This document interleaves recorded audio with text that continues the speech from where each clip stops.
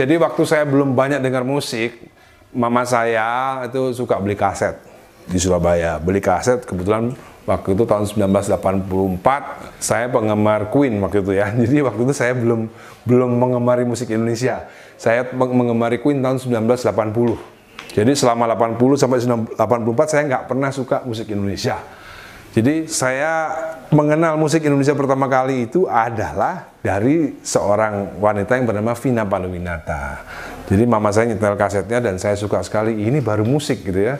Jadi ketika dihadirkan uh, album dari Vina Panduwinata yang waktu itu album ketiga ya Citra Ceria ya perlu digarisbawahi uh, arrangernya adalah ADMS uh, satu album itu saya hafal banget sehingga notasi-notasi kata per kata, note per note, sirkulasi chord dan lain-lain itu saya waktu itu benar-benar tahun 84 saya masih kelas 5 SD lah mungkin waktu itu kelas 4 SD 5 SD itu benar-benar saya kagum ini ada yang musik Indonesia bagus banget gitu ya dan ternyata yang membuat musik adalah ADMS dan yang menyanyikan adalah Vina Panduwinata dan uh, Alhamdulillah saya pun akhirnya bisa bersahabat dengan salah satu penyanyi idola saya, Vina Perwinata.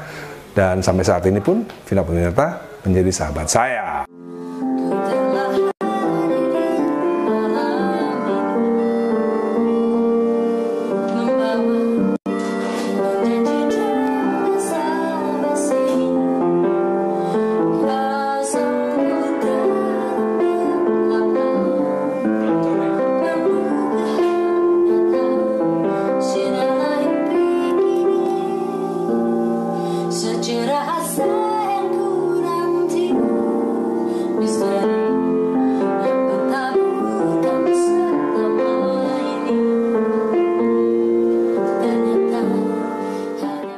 Oke, teman-teman sampai sekian dulu